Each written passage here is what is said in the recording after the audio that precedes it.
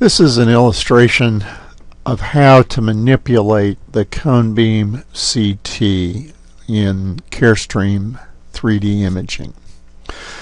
If you will notice across the top there are a number of tabs and it's open in the orthogonal tab.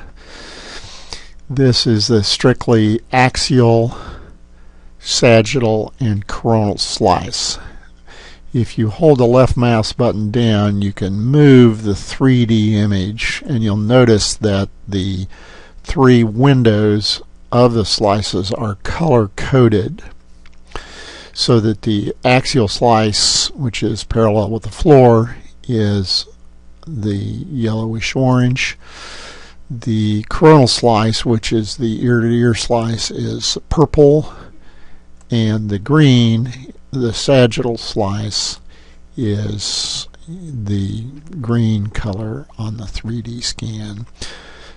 The 3D scan really isn't all that diagnostic in most cases, but it does help you orient yourself.